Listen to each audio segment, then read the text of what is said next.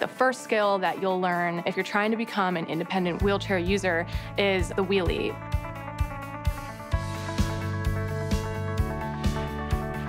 The current method for wheelie training involves one-on-one physical therapy, but for some patients, only a fraction of their physical therapy is covered by insurance. So we have to make sure that those hours of training are spent doing activities that truly require the expertise of a physical therapist.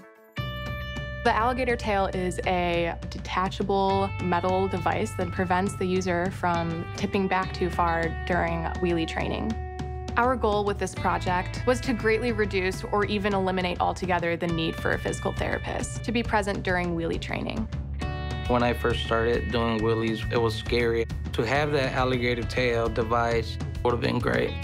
We are solving real world problems and have real impact on people's lives.